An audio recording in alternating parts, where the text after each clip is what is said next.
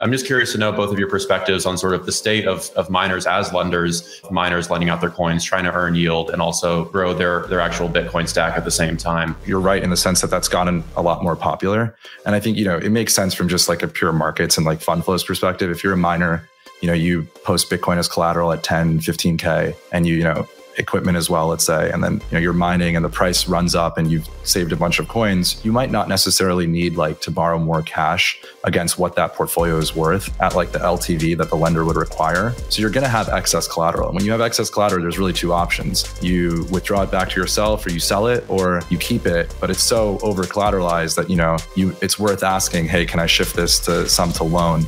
And lend it to you guys. Then you know you can get interest paid in USD, which will then help with your sort of monthly expenditures, or you can get interest compounded in kind in Bitcoin and kind of just amass your stack, um, kind of what miners fundamentally like to do, anyways.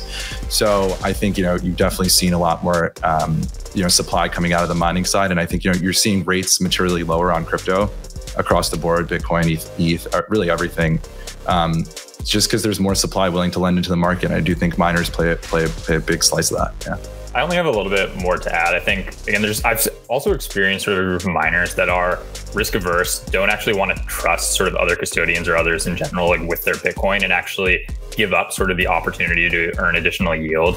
Um, I would say like that group I find as sometimes some of the smaller miners, often also the private miners. And so when we look at sort of like subsections of the market here that are looking for sort of this opportunity, I think it's definitely a growing space is the public miners in particular, because it's something where now these public miners have institutional investors that are asking them questions, a growing pool of sort of capital that or Bitcoin that they can generate yield on. And increasingly, you know, their investors are going to be asking them, okay, you have this pool of Bitcoin, what are you doing with it? One option is what we already talked about a little bit in entering into something like a Bitcoin backed loan um, and putting that to work, or you know, acting as, as the lender themselves, putting it into sort of yield uh, products that are available. And I think, yeah, it's something that, you know, a lot of public miners just have to even be accountable about